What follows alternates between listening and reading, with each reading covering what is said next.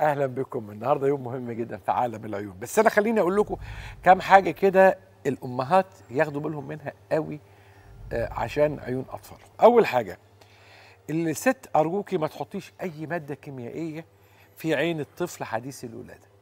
الحاجة التانية أرجوكي ما تحطيش كحل في عين الطفل أو بصل في عين الرضيع. أنا ما أعرفش مين ممكن يحط عصير بصل في عين الرضيع. طبعا ما يحطوش بصل يحطوا عصير بصل. ما أعرفش دي هل دي موجودة ولا دي يعني أنا كاتبين لي بيقول لي ده بيحطوا عصير بصل يخرب بيوتهم. عصير بصل إيه؟ كمان أرجو بقى من الناس الكبار ما تمدش إيدك على وش الواد. مش تقعد بقى يا أختي حلوة يا أختي جميلة وتقعد تعمل له كده. أرجوك ما تبص ما تحطش إيدك في عينه. تقول آه، ما نضفها له كده مثلا أنا شايف شايف إن عينه. لا أرجوك ما تعملش الحركة المجنونة دي. كمان التزمي بالقطره القطره اللي اكتبها لك تقول التزم بيها والقطره ليها التزامات خاصة. لازم تتحط في حتة معينة ما ينفعش أي حد يحط منها تاني. ليها اكسباير ديت بلاش القطره اللي من 2012 اللي لسه لغاية دلوقتي بتحطيها في عين الواد. يعني في ناس كده يعني في ناس بتستهبل. قطره مثلا بقى لها سنتين ثلاثة أرجوكي ما تخليش الواد يقف عينه في إضاءة ش... آه، يعني ما تاخديش الواد مثلا وتطلعي معزومه ده أنا مرة شفت منظر. يعني حاجات غريبة بتحصل. ناس جايبة أطفال رضع في حفلات. حفلة. شايلة الواد وفي الحفلة والإضاءات في الحفلة بقى ساطعة. أنتوا عارفين الحفلات فيه البتاعات اللي بتلف والليزر والحاجات المجنونة دي. الحاجات دي خطرة جدا على فكرة. يعني مش شرط الإضاءات الليزر والأوفر ده ده أوفر جدا جدا وخطر على العين. وجايبة الواد معاها والواد عمال يتفرج والواد عمال طبعا عينه الليزر عمال يخبط في عينه. أرجوكم هذا خطر داهم. النهارده موضوع مهم جدا. هقول لكم هو إيه بس الأول أرحب بضيفتي التي تبدأ دائما بنسمع منها كلام أكاديمي على أرقى مستوى كلام ملتزم ملتزم. من الناحية العلمية طبعا أكيد أكاديمية لازم نسمع منها هذا الكلام لما يكون من آه، آه، آه، يعني أكاديمية في كلية الطب لازم نسمع كلام أكاديمي طبقا للكتاب. ضيفتي العزيزة الأستاذة الدكتورة نرمين البدوي استشاري طب وجراحات العيون والأستاذ المساعد لطب وجراحات العيون وصاحب الدكتوراه طب وجراحات العيون بكلية الطب زميل كلية الجراحين الملكية البريطانية وزميل المجلس العالمي لطب وجراحة العيون والجمعية الأمريكية لطب وجراحات عيون الأطفال والحول والجمعية الأوروبية لطب الأطفال. أهلا بيك يا دكتوره أهلا بيك يا دكتور عين النهارده عندنا موضوع مهم جدا اسمه الرقرقة أو نستجمس إيه هي إيه هي رقرقة العين؟ هزة العين. بالظبط زي ما حضرتك قلت كده هي يعني نقدر نسميها هزة العين.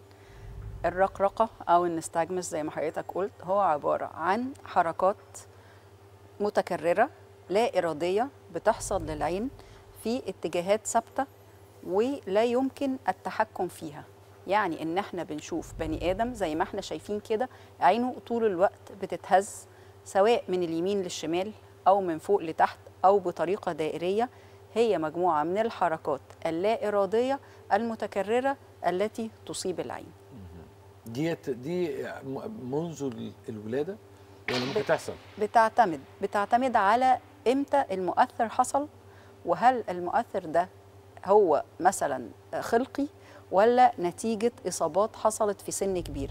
يعني آه طبيعة هي ممكن تحصل طبعا في الشهور الأولى من العمر لكن برضو هي ممكن تحصل لحد في سن كبير لو حصلت إصابات مثلا للجهاز العصبي أو نتيجة تناول نوع أنواع معينة من الأدوية أو من المخدرات ممكن تسبب أن هذه الرقرقة تحدث. إيه يعني و- آه، الزعيم عادل إمام في فيلم اسمه المتسول. مثلا آه، يعني. آه. فأنت لا كده بدام ما أنت عينك مش هتتحرك إلا لما يرحمه بقى هتبقى الفنان شايفه دي. الجميل سيد زيان الله يرحمه ويحسن اليه كان راجل عظيم جدا. السيد زيان في الفيلم ده كان بيمثل دور جميل قوي يعني اللي هو زعيم الشحاتين. تمام. قال لك أنا هخليك آه، يعني هخليك إيه آه، ابن ناس شحات ابن ناس. اللي هو اللي مش شايف ده. آه آه ف آه، طبعا القصة دي إن آه، إن أنا أعرف إن ده بيدعي هو طبعا كان بيدعي ما, ما. كانش بيشوف آه، كان بيشوف يعني. ما-. فهي ده ده اللي بنسميه الفسيولوجيكال أو ال- الرقرقة الطبيعية. في مثلا آه، أي بني آدم طبيعي لو لو بص على أطراف مجال الرؤية بتاعه لو جاب العين للآخر خالص هنلاقي إن عينه بتتهز شوية. يعني لو أم لقت إن الطفل عينه بتتهز في أقصى اتجاهات عينه مش اللي هي الرقرقه اللي زي شايفينها ممكن عينه بتحاول إن هي تركز وترجع تاني. ده شيء طبيعي. في اختبارات إحنا بنعملها للحواس الأخرى مثلا يعني زي الاختبارات للأذن.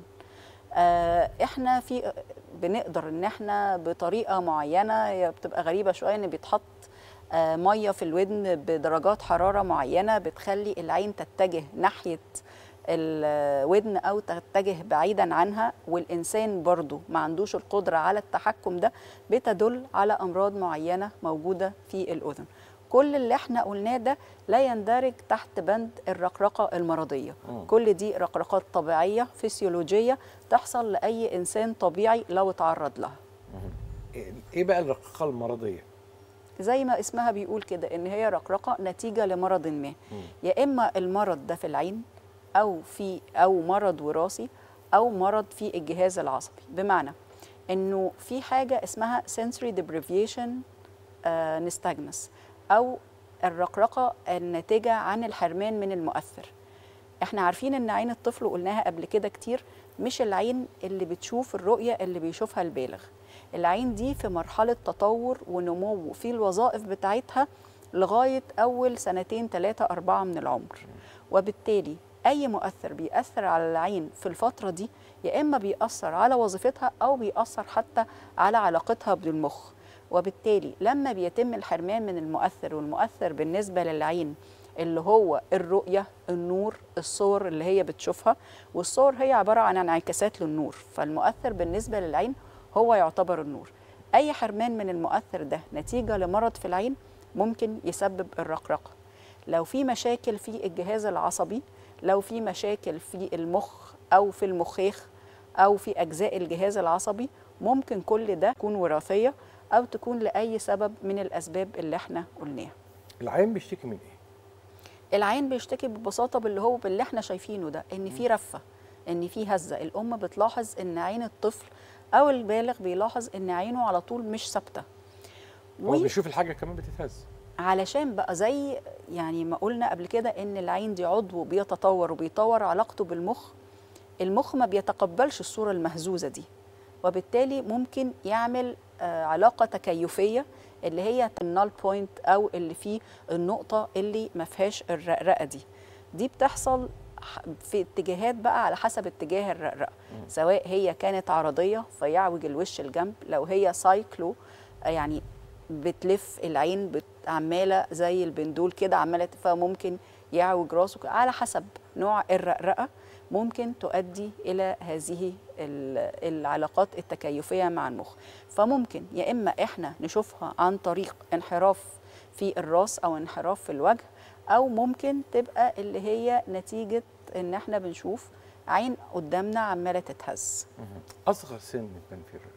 في الشهور الأولى من الشهور الأولى من الطفل خصوصا الأنواع اللي هي الوراثية أو الأنواع الخلقية. أو حتى ال sensory deprivation أو اللي إحنا بنسميها آه، ناتجة عن الحرمان من المؤثر.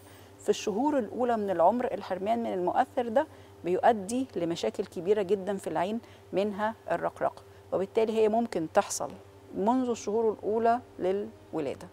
هيجي لك العيان أهله عايزين نتعالج. للأسف هي الرقرقة من الحاجات اللي صعب قوي علاجها في أمراض العيون خصوصا لو ما اتلحقتش في مرحلة مبكرة. أولا زي أي مرض لازم نشوف المسبب. بمعنى إن لو هي زي ما قلنا نتيجة حرمان من المؤثر. مثلا إن في مية بيضة في العين لازم المية البيضة دي تتعالج. لو كان في مشاكل في الرؤية يعني الطفل ده محتاج يلبس نظارة لازم يلبس النظارة. لو أي مشكلة في العين تسببت في حدوث كسل في العين لازم يتم علاج كسل العين الأول قبل التعامل مع المشكلة الرئيسية. في مجموعة من الأدوية ممكن برضو استخدامها في علاج رقرقة العين.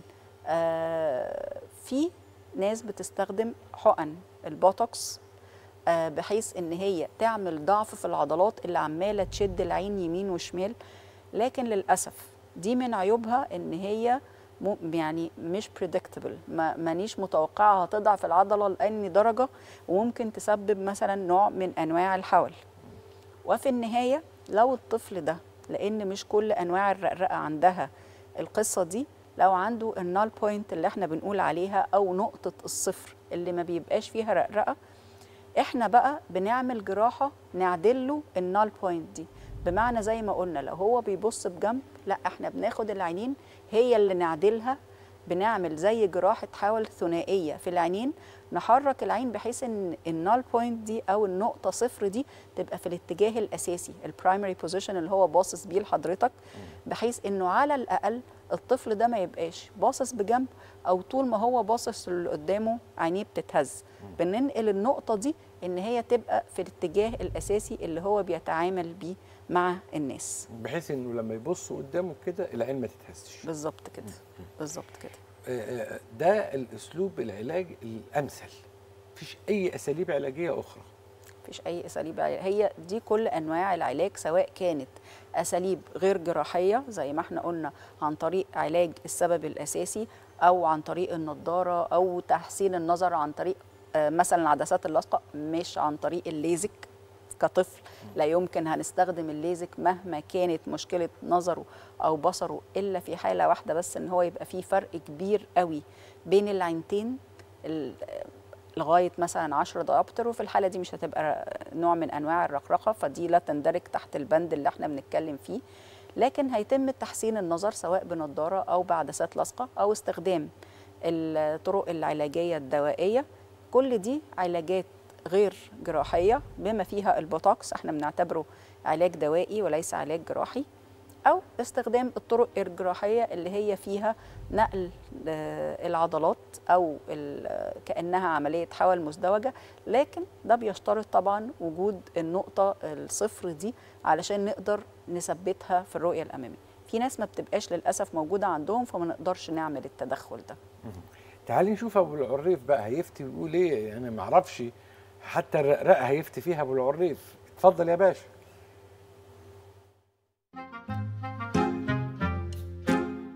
يا باشا العيل من دول لما عينيه تبقى زيغه كده والبؤبؤ بيرقص يمين وشمال والطفل ما عندوش تحكم في عينيه. دي يا باشا علميا اسمها الرقرقة. بتبقى سببها إن الأسلاك اللي جوه الدماغ اللي ماسكة العين فيها حاجة مفصولة. المشكلة يا باشا رغم إنها في العين بس حلها مش عند دكتور العيون. دكتور العيون يا باشا آخره هيلبس الطفل نضاره الطفل من دول هيشوف كويس بالنضاره بس المشكلة هتفضل زي ما هي ورا النضاره المشكلة دي حلها كم جلسة بالإبر الصينية أعلى القفا الإبر الصينية هتنحرر الأعصاب وتوصل الأوردة اللي مقطوعة ترجع تمسك العين. وعشان دكاترة العيون ما بيشتغلوش بالإبر الصينية بقول لحضرتك الرقرقة علاجها مش عند دكتور العيون.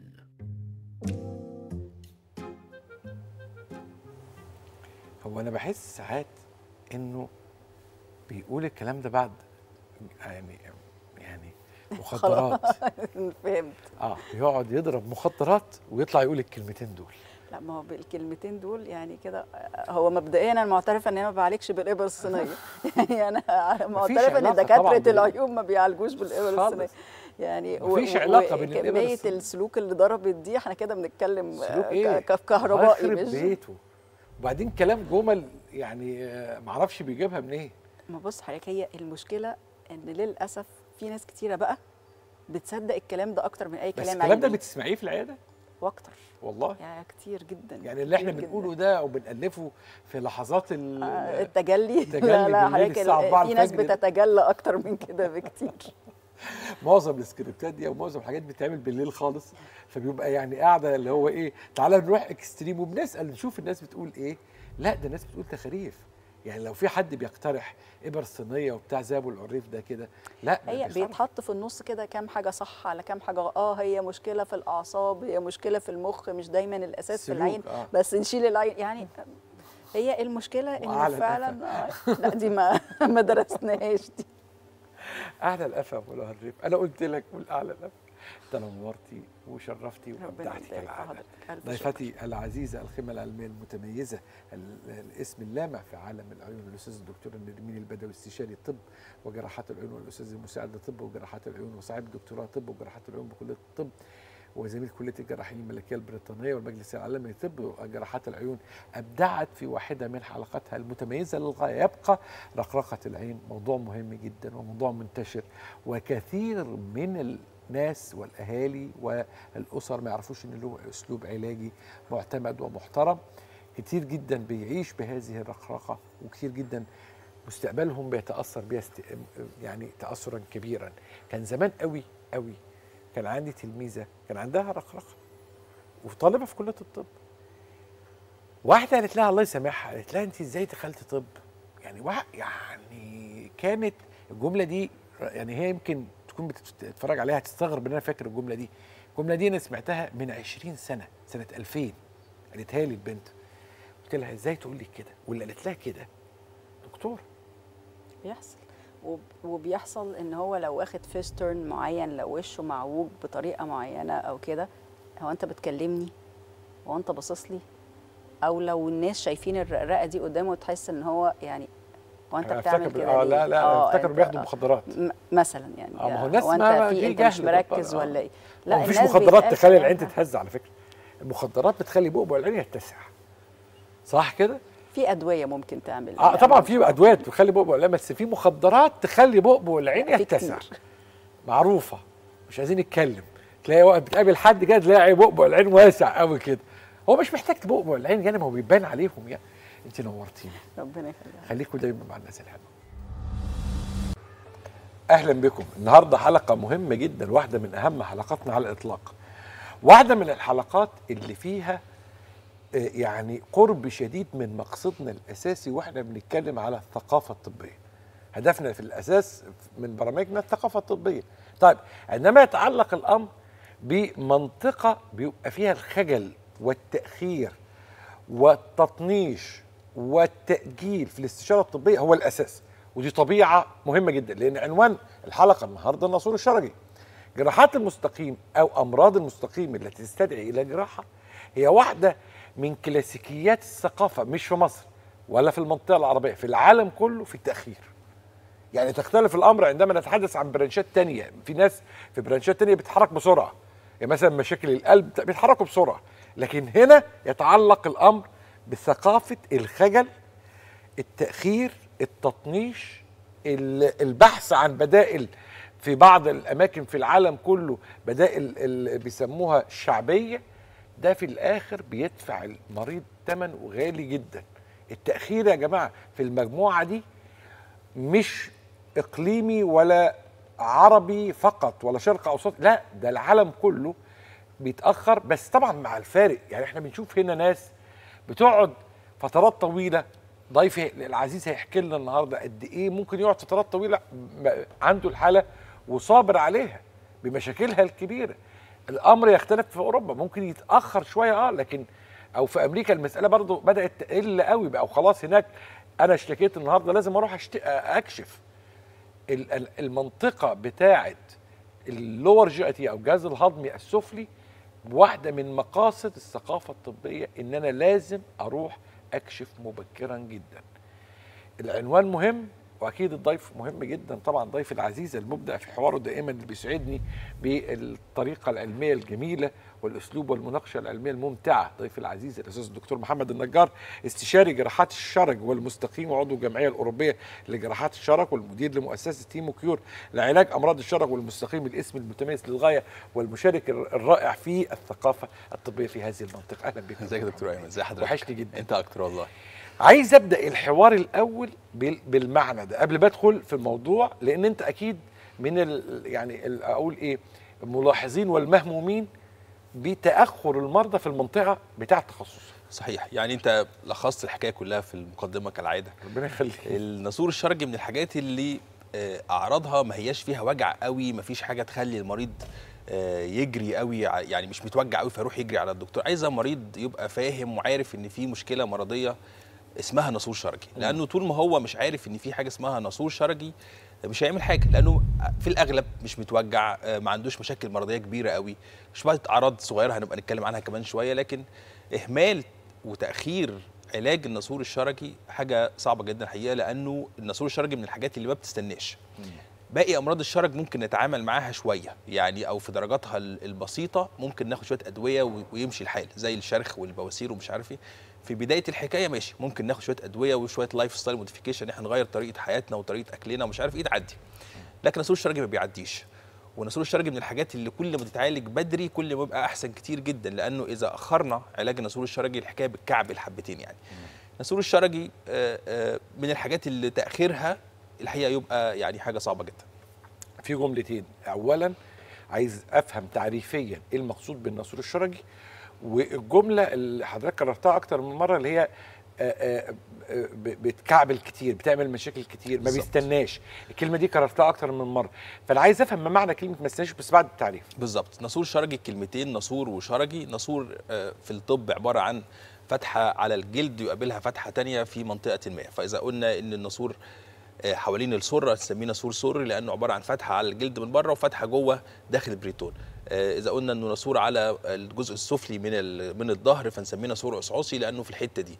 ناسور شرجي يعني فتحة بجوار فتحة الشرج ممتدة إلى فتحة أخرى داخل ال- القناة الشرجية أو المستقيم وما بين الاثنين في تراك أو قناة. آه، ما ينفعش نقول اسمه ناسور شرجي من غير ما يبقى الفتحتين موجودين. يعني ما ينفعش يبقى في فتحة داخلية ومفيش فتحة خارجية وما ينفعش يبقى في فتحة خارجية ومفيش فتحة داخلية. بعض الناس تستسهل وتقول إنه الناسور الشرجي إذا كان ليه فتحة بره ومانيش عارف أوصل للفتحة اللي جوه يقول لك حاجة اسمها perianal sinus مصطلح طبي فاشل طبعا مفيش حاجة اسمها كده. الناسور الشرجي يعني لازم فتحة قصادها فتحة الناحية الثانية وما بين الاثنين قناة. آه، جه منين الناسور الشرجي ده؟ جه من إنه في غدد حوالين القناة الشرجيه بتفرز بعض الإفرازات لتسهيل مرور البراز. زيها زي الغدد اللعابيه اللي في اللي في بقنا آه، وظيفتها إنها تعمل شوية لعاب داخل البق عشان نقدر نتكلم ونقدر ناكل وحاجات زي كده. إذا الغدد اللعابية دي إفرازها بيعدي جوه ضغط جوه قناة إذا القناة دي اتسدت تعمل أبسس تعمل خراج. إذا الخراج فضل موجود وال- والمريض ما فتحوش بشكل سريع جدا والجراح ما تعاملش معاه بشكل سريع جدا يعمل الناسور الشرجي ليه بقى بنقول إنه ما بيستناش وليه قلنا إن الحكاية ممكن تكعبل وحاجات زي كده؟ لأن الناسور ده في بدايته ما فيش حاجة اسمها ناسور يظهر كناسور شرجي علوي. ابدا. يعني مفيش حد يبقى النهارده عنده ناسور شرجي الصبح نلاقيه ناسور شرجي لا. الناسور الشرجي يبدأ كناسور شرجي صغير ما هوش ناسور شرجي كبير ابدا يعني ما ينفعش يبقى مرة واحدة حاجة كبيرة قوي كده. إذا أهملناه وخلي بالك أهملناه دي بقى إحنا بنتكلم في أيام قليلة يعني اللي عنده ناسور شرجي سفلي. يعني إيه سفلي؟ يعني الفتحة اللي بره والفتحة اللي جوه قريبين من بعض والتراك ده داخل جوه عضلات صغيرة ما هواش جوه كل العضلات الكبيرة زي ما هنحكي كمان شوية. إذا كان الناسور الشرجي سفلي علاجه سهل جدا بأي طريقة إن كانت ويخف المريض ويبقى كويس وكل حاجة. وعلاجه نقصد مش علاج دوائي. الناسور الشرجي أو الناسور عامة حاجة جراحية ما ينفعش علاج بالدواء. يعني ما ينفعش ناخد مضاد حيوي يروح لأ. ينفع ناخد مضاد حيوي يقلل الإفرازات شوية ونعمل عملية بعدها بكام يوم ماشي.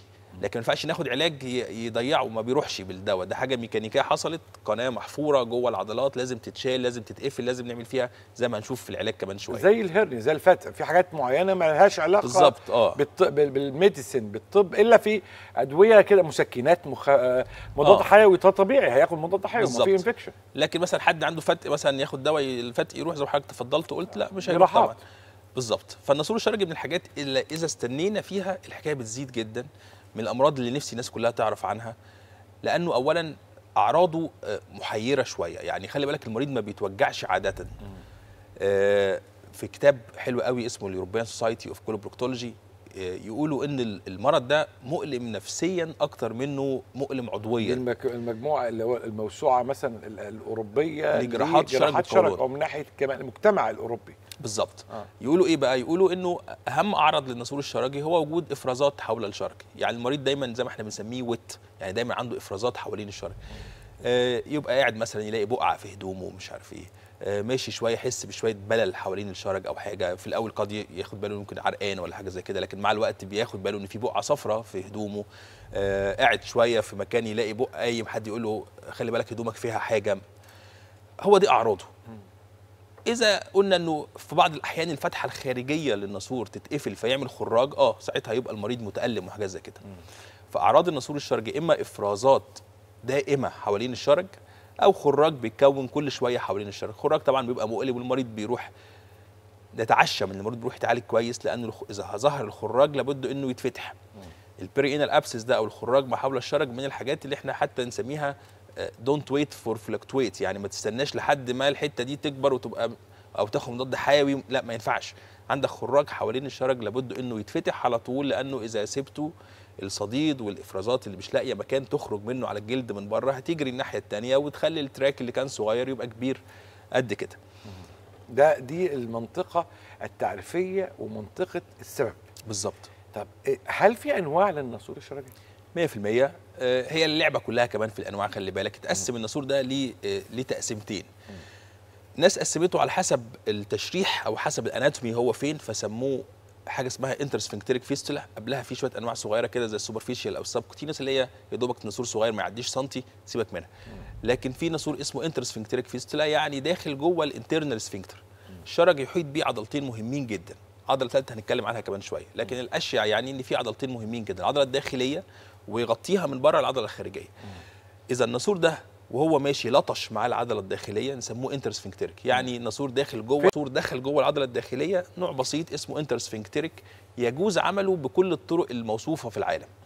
بالجراحة ماشي بال- بالطرق ال- ال seton مثلا ماشي بال بال بال بال glue ماشي إن إحنا نقفله بالحاجات المتقدمة جدا زي الليزر وال VAAFT يجوز. لكن حتى في ال intersphincteric fistula أو الناسور الصغير يجوز عمله بالجراحة مش يجرى حاجة. وهنتكلم عنها كمان شوية. طب إذا الناسور خد ال external sphincter إحنا قلنا إن هم عضلتين واحدة. هو الخارجي. الخارجي آه. ويغطيها واحدة كمان.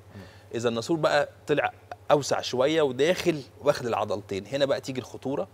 لأنه إذا لمسنا ال external sphincter فإحنا بنحط المريض في خطر عظيم جدا إنه يحصل حاجة اسمها fecal incontinence إنه يحصل عدم تحكم في مرور البراز الناسور ده ليه مرض سخيف وليه يعني الناس حتى اللي عندها آه، ناسور شرجي كانت تخاف من إجراء العمليات الجراحية اللي هي كانت بتتعمل بالشكل التقليدي زمان لأنه هي اللعبة كلها هنا. هو إحنا آه عندنا ناسور وعندنا قناة وعندنا إفرازات وحاجات زي كده بس هي الفكرة إن إحنا عايزين نعمل العملية دي من غير ما نلمس العضلات لأن لمس العضلات هيعمل عدم تحكم في مرور البراز وساعتها هتبقى المضاعفات أخطر من المرض نفسه. يعني ساعتها المريض ما بيتحكمش في مرور البراز لكن هو كان عنده مرض شوية إفرازات. إذا كان الناسور له بقى المشكلة من شكوى حاجة بسيطة إلى- متوسطة إلى شكوى خطيرة. خطيرة جدا الحقيقة يعني. آه، وحاجة جداً. مؤلمة جدا نفسيا آه، يعني. آه. في بقى فوق العضلتين دول عضلة فوقيهم شوية اسمها ال levator ani أو العضلة اللي- فوقيهم حبتين حوالي 3 سم فوق حتى بعد ال dentate line إذا الناسور وصل لحد ال levator ani نسميه suprasphincteric يعني معدي فوق ال- ال- ال levator ani. واحيانا حاجة اسمها extrasphincteric يعني الناسور معدي فوق الثلاث عضلات وفاتح في آخر المستقيم. النوع الوحيد اللي نقدر نعمله باستخدام الجراحة وإحنا مطمنين الجراحة العادية التقليدية اللي بتعتمد على قطع الناسور هو النوع الأولاني اللي هو ال intersphincteric fistula وده بيتكتب فيه يعني إحنا بنعرف نوعه إزاي ولا مفيش حد فينا يعرف إلا بالرنين المغناطيسي. يعني هل يجوز نعمل آه، آه، ناسور شرجي من غير ما نعمل أشعة اسمها رنين مغناطيسي قبل العملية؟ لا. لأن أنا شايف فتحه من بره بس مانيش شايف اللي جوه فين ولا ال track ده معدي فين. الرنين هيوريني كل حاجة. بالظبط. فإذا لقينا في ال- في الرنين ال intersphincteric بنبقى يعني عندنا براح جدا مع المريض إنه يقدر يعمل عملية. intersphincteric يعني نوع معين من الناسور. بيفتح في العضلة الإيه؟ الداخلية. الداخلية. بالظبط. لكن الثلاث أربع أنواع اللي بعد كده ال transsphincteric وال suprasphincteric وال extrasphincteric خلاص بقى. لا يجوز الحقيقة إن إحنا يبقى أول خطوة هناخدها هي الجراحة لأنه في خطر كبير الجراحة جدا التقليدية. الجراحة التقليدية العادية. لأن في خطر كبير جدا إن نعمل مصيبة كبيرة اسمها fecal incontinence ما بنخفش منها. آه, و- آه لو عمل جراحة في فرصة لحدوث س- عدم قدرة على التحكم في البراز. بالظبط. ده التقسيمة اللي هي التقسيمة التشريحية لوجود الناسور وفي تقسيمة تانية سم- قسموه لأربع درجات واحد واثنين وثلاثة وأربعة على حسب ال complexity بتاعته. على حسب هو معقد قد إيه يعني. إذا كان قال لك إذا كان داخل جوه العضلة الداخلية بس نسميه بالدرجة الأولى إذا كان داخل جوه العضلتين نسميه بالدرجة الثانية إذا كان من جوه العضلتين بس ممكن يبقى ليه تشعب تاني يعني. ما هو الناسور ده خلي بالك إحنا قلنا إنه سكة واحدة بس إحنا كنا بنتكلم على الناسور ابن حلال قوي يعني وده ما بنلاقوش كتير. ودايما الناسور بيبقى متشعب. يعني هو قناة كبيرة أو شارع كبير وطالع منه حارة صغيرة وحارة صغيرة. إذا كان الناسور متشعب فأصبح الناسور كومبلكس يعني ناسور معقد يعني ما ينفعش نعمله برضه باستخدام الجراحة التقليدية لأن إحنا حتى مش هنشوف ال- التشعبات الصغيرة يعني. فتقسم الناسور لتقسيمتين على حسب التشريح وعلى حسب درجة تعقيده. ده التقسيمات كلها. بالظبط. واللي إحنا شفناه ده يعني اللي هو واحد simple track آه. واحد مش مت مش مش. مش متشعب ولا حاجة. آه. وتشخيص الرنين. آه يتشخص بالرنين المغناطيسي طبعا في الأول طبعا لازم ال history ولازم ال clinical examination وحاجات زي كده. آه، الفحص الإكلينيكي. للعيان أو آه. التاريخ المرضي. والتاريخ المرضي عشان نبقى عارفين العيان ده بيشتكي من إيه. لأنه بعض الأعراض تبقى متشابهة جدا الحقيقة. عشان نعرف نطلب إيه بالظبط. ما هو مش معقولة كل مريض هيجي لك هتروح تقول له اعمل رنين مغناطيسي. هو لازم الدكتور الشاطر يعرف يختار الفحص المناسب للمريض يعني. إيه، عندنا حاجة اسمها procto station حاجة عظيمة جدا جهاز بنقدر نشوف بيه مداخل المستقيم. مهم قوي في الفحص ال- ال- في البداية. يعني بنقدر نشوف حتى شكل الفتحة الداخلية من جوه نقدر نشوف إذا كان في فتحات أكتر ولا لأ. ثم بنطلب من المريض الرنين المغناطيسي. لا يجوز إن إحنا نعمل ناسور شرجي من غير رنين مغناطيسي لأنه هو اللي هيخلينا نقدر نقول للمريض حتى شكل الناسور بتاعه إيه وشكل العلاج إزاي يعني. هنروح للمنطقة العلاجية بقى. المريض هيجي لك خدنا التاريخ المرضي عملنا له ال MRI الرنين المغناطيسي عرفنا هو بيشتكي من إيه شرحنا له حالته المرضية قررنا أو رسمنا الخطة العلاجية. بالظبط. هي خطة علاجية. بالظبط. الخطة ديت أنا عايز أفهمها منك وخصوصا برضو أكيد هيجي سيرة الجراحة التقليدية. بالظبط. ما بين بقى الجراحة التقليدية وما بين التطور اللي حصل كمان. بالظبط. العلاج تطور جدا جدا في علاج الناسور الشرجي هقول لك على جملة بتتكتب في علاج الناسور الشرجي ده في في المراجع العلمية إنه أول حاجة يكتبوها إنه مفيش جولدن رول مفيش يعني ليه الناس كلها آه، هتلاقي الناسور الشرجي ده بيتعالج بحاجة عند واحد وبيتعالج بحاجة تانية عند واحد تاني وبيتعالج بحاجة ثالثه عند واحد تاني. لأنه مثلا مش زي الزايدة مثلا مش المريض مثلا عنده التهاب في الزايدة فإحنا عارفين هنفتح فين ونخش نعمل إيه وخطوات محفوظة. هتلاقي الجراح اللي في أمريكا بيعملها والجراح اللي عندنا بيعملها والجراح اللي في أوروبا بيعملها. لا الناسور الشرجي مش كده. مفيش حاجة مفيش قاعدة ذهبية في علاجه مفيش خطوات كل الجراحين يمشوا عليها واللي يعمل غير كده يبقى آه، غلطان. علاجه آه، في ما قبل حوالي يعني آه، يمكن 40 سنة من النهارده كان كل الناس بتعمل حاجة اسمها fistulotomy أو fistulectomy إنها تخش ب probe ما بين الفتحة الخارجية والفتحة الداخلية. فنبقى جوه القناة نقطع الحتة دي. إحنا قلنا إنه في أنواع فإذا كنا هنقطع الناسور وهو داخل في ال- في العضلة الداخلية بس ماشي مش هيجرى حاجة. المريض يعاني من شوية حاجات كده زي الجاز آه، زي إنه ما يتحكمش قوي في مرور الغازات مثلا أو حاجة لكن بعد كام شهر بتتحسن. لكن هل يجوز إن إحنا نبقى الفتحة الداخلية والخارجية والناسور ده معدي جوه كل العضلات المسؤولة عن التحكم في الابراز ونقطع؟ لا مفيش جراح بيعمل كده إلا إذا كان جراح مش واخد باله قوي. الجراحة الحقيقة حاجة عظيمة جدا وبيعملها في مصر هنا أساتذة عظماء جدا الحقيقة يعني والحقيقة ناس يعني أساميها تتلف في حرير يعني. لكن مش هيقدر يقول للمريض بتاعه إن هنعمل عملية و100% مش هيحصل عدم تحكم في النور البراز مش هيقدر مش هيقدر. لو قال كده يبقى غلطان. لأنه في ريسك في الكتاب من 30 ل 50% من يعني من كل 10 هيعملهم في ثلاثة أو ده في خمسة الكتاب. في الكتاب. هيحصل لهم كارثة. الكتاب يعني ز... يعني على أس بالظبط. هي الأفضل. بالظبط. بالظبط. in best hands زي ما بيقولوا آه، يعني. في أفضل الايادي بالظبط. طيب. نسبه كبيرة جدا. نسبة كبيرة جدا. وعشان كده بدأت الناس كلها ت... كل العالم الحقيقة بيدور في علاج الناسور الشرجي ده على حاجات غير الحتة دي. على علاج للناسور الشرجي غير الجراحة التقليدية. تطورت الحكاية إلى إن إحنا بقينا بنعالج الناسور الشرجي ده في حاجة اسمها cutting seton قال لك طب ما نحط ما بين الفتحة اللي بره واللي جوه حاجة اسمها cutting seton أو حتة فتلة حرير كده أو فتلة prolene زي ما بيقولوا. وكل يوم نقعد نشدها شوية نشدها شوية. فنبقى بنقطع حتة من العضلات. آه بس على ما نقطع حتة تكون اللي بعدها خفت تكون اللي بعدها خفت فتمشي. فضل شغالين بيه الحقيقة فترات طويلة جدا يعني بال cutting seton ده برضو لقوا إن المرضى نسبة كبيرة الحقيقة برضو بيجي لها عدم تحكم في مرور البراز إلى إن تطورت الحكاية لحاجات كتير جدا. بقى في chapter في في الكتب وفي المؤتمرات وحاجات زي كده اسمها sphincter preserved techniques إيه التكنيك الجديد اللي يحافظ اولا على على العضلات اللي حوالين الشرج بحيث إنه يتحكم المريض في التبرز. بالظبط. فبقينا بنقدر وإحنا بقى هنتكلم على شوية الحاجات دول إن إحنا أول حاجة نقولها للمريض إنك هتعمل عملية ومش بقى 99% و100% مش هيحصل عدم تحكم في مرور البراز. فبقى الهاجس الكبير الخوف من حكاية عدم التحكم في مرور البراز خلاص اركنها على جنب بقى خلاص مش هتحصل ابدا. بقينا بنعالج الناسور باستخدام تكنيك عظيم جدا اسمه ال FiLaC أو علاج الناسور الشرجي باستخدام الليزر اللي بيعتمد إنه بدل ما نقطع الناسور من من وسط العضلات ونضحي بجزء من العضلات طب ما نقفل ال track على بعضه ما نقفل الفتحة ال- ال- الداخلية ونقفل القناة ونقفل الفتحة الخارجية فخلاص فالناسور قفل على بعضه. فكرة عظيمة جدا الحقيقة زي في في أعظم نتائجنا لحد 80 85% معنى كده إن من كل 100 أنت عملت لهم عمليات في 85 واحد خف لكن في 15 واحد ما خفش. ليه؟ لأنه قد يكون الناسور ده متشعب. طب لو هو ليه track يمين أو شمال وأنا داخل بالقسطرة ما أنا مش هشوفها. يعني أنا مش هشوف فين ال track اليمين أو الشمال ده فهحرق وهنسى التشعبات اللي كانت في الجنب. فبقينا بنعمل مع ال- لو ال- لو تركت التشعبات دي ممكن تعود مرة 100%. أخرى. 100% هتحوش 1000% هتبدأ تحفر تاني. وترجع تاني. آه نفق. ممكن يقعد بقى شهور أو حاجة بس يرجع ويرجع تاني. بقينا بقى الحقيقة وبقالناش يعني فترة طويلة لكن بقينا بنستخدم حاجة اسمها ال VAAFT مع ال FiLaC. إيه ال VAAFT ده؟ هو الكاميرا ال FiLaC هو ال- الليزر. ال- الليزر. آه ال FiLaC هو التكنيك آه، اسمه fistula track laser closure اللي هو ال FiLaC. وال VAAFT ده اللي هو video assisted anal fistula treatment أو علاج الناسور باستخدام الفيديو وأنت شغال. طبعا لكن إحنا بسطناها للناس وأعتقد الناس أنا براهن على ثقافتهم إنهم يحفظوا ال FiLaC يحفظوا ال VAAFT وأساميهم جميلة ولذيذة آه. سهلة. مش لازم تعرف يعني آه، التفصيلة بالتفصيل يعني بالظبط. لأن أنا نفسي بنساها.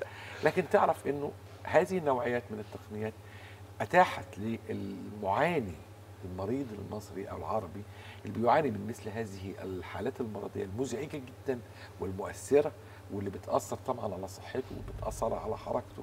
تخيلوا المريض دوت ما يقدرش يخرج ما يقدرش يقعد في, في اجتماع ما يقدرش يروح ساعات يبقى حبيس بيته. في نوعية حساسة جدا ما تقدرش ممكن جدا يسيب شغله. يسيب شغله ويقعد في البيت خلاص.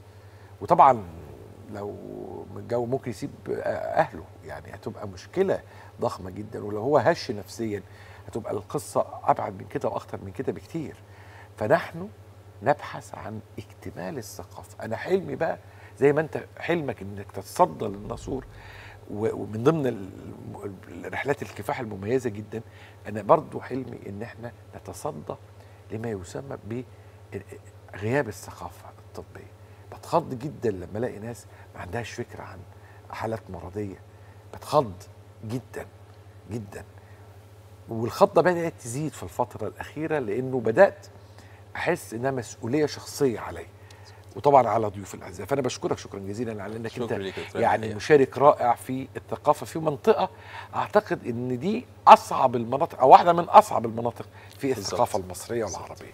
ضيفي العزيز القيمة العلمية المتميزة وطبعا الأدائي الماهر أستاذ الدكتور محمد النجار استشاري جراحات الشرج والمستقيم وعضو جمعية الأوروبية لجراحات الشرج والمدير لمؤسسة هيمو كيور لعلاج أمراض الشرج والمستقيم كان مبدعا كعادته في الناس الحلوة. خليكم مع الناس الحلوة. النهارده يوم مهم في عالم النساء وتفرض نفسها بطنط الرحم المهاجرة على الحوار. أنا عارف إنه الموضوع يقلق. بطنط الرحم المهاجرة موضوع مزعج لأنه منتشر. ولأنه الحوار فيه ولأنها ستيجز برضه لأنه مستويات مستويات متوسطة مستويات عنيفة. لكن في كم نقطة مثيرة للجدل اثيرت في المؤتمرات الأخيرة وفي الآراء والمنتديات الطبية المشهورة. أول هذه الجمل المثيرة جدا قالها كلاوس بولر. كلاوس بولر ده واحد من أباطرة آه، آه، آه، العالم تأخر الإنجاب ألماني. قال إنه ال endometriosis أو بطانه الرحم المهاجره لها علاقة وثيقة جدا بالخصوبة. ركز على إن بطانه الرحم المهاجره بتصدم الست في خصوبتها وبالتالي تأثر على قدرتها على الإنجاب. الأمريكان بيدوروا على السبب. بيدوروا على ال precipitating factor هو ما في سبب واضح. العوامل التي تؤثر التي تؤدي إلى إن بطانة الرحم المهاجرة تتزايد عشان يقللوا جماحها. الاثنين بيكملوا بعض. في. في القصة اللي حكيتها دي الكلمتين يكملوا بعض. إن إحنا نسيطر على البداية ونفهم إزاي نقاوم النهاية. البداية هي السبب والنهاية هو تأثير بطانة الرحم المهاجرة على قدرة الست على الإنجاب. النهارده حوار مثير جدا في المنطقة دي مع ضيفي العزيز الحقيقة كاريزما خاصة وحضور ذهني متميز للغاية وحضور علمي على أرقى مستوى وهيكلمنا النهارده أكيد في هذه المنطقة. أجزاء من الحوار ربما تسمعوها لأول مرة.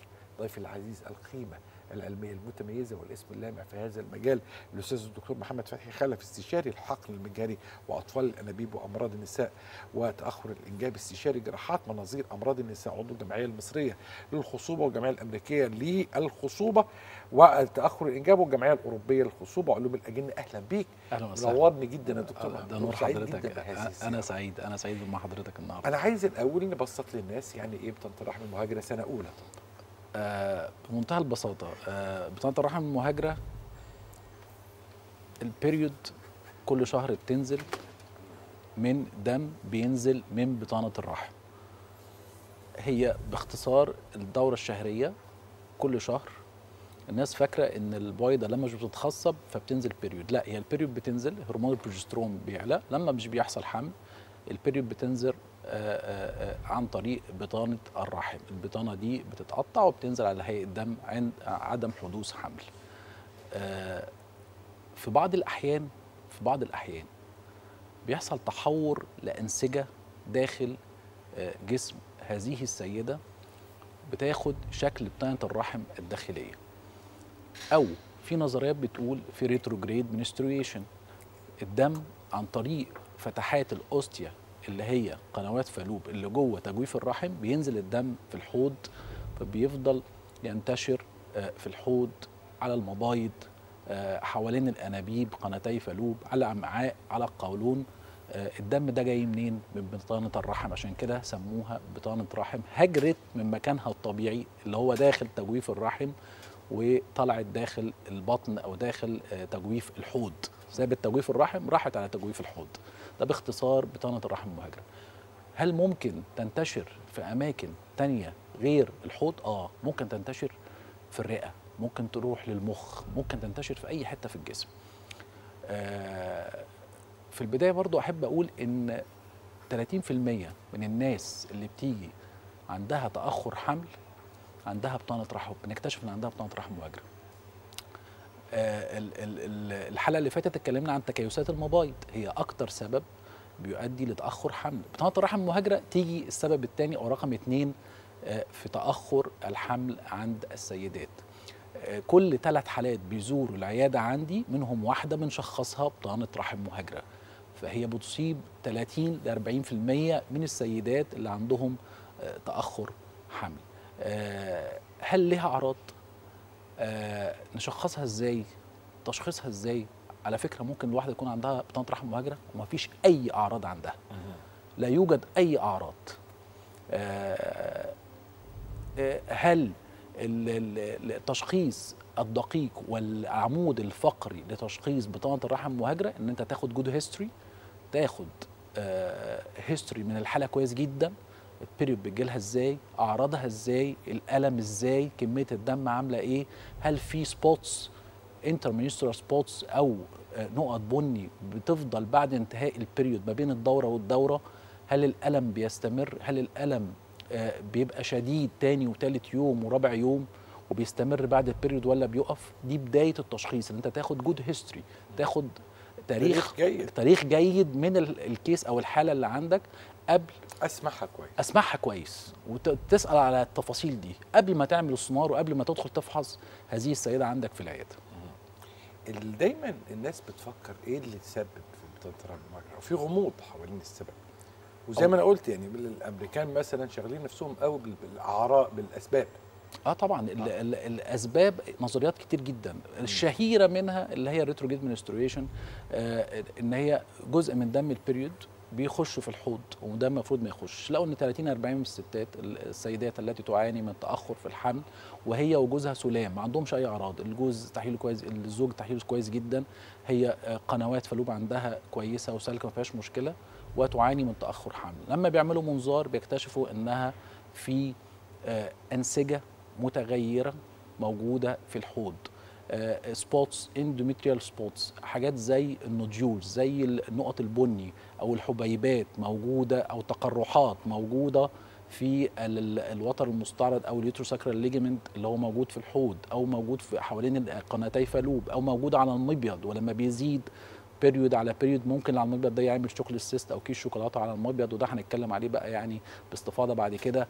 بيعمل إيه في المبيض؟ وتأخر الحمل وبيعمل ال- وإزاي نعالجه؟ أو إزاي نتغلب على ال- ال- اللي إحنا ما نوصلش إن هذه السيدة تتأخر آه، في الحمل. ان أنا بفوجئ برضو بحاجات غريبة جدا إن السيدة متأخرة في الحمل بفوجئ إنها بتاخد سنة وسنة ونص علاج للألم عشان الألم يروح وهي متأخرة في الحمل. يا جماعة تأ- ال- ال- ال- بطانه رحم مهاجره حل هذه السيدة إنها ما تعانيش منه إنها تحمل.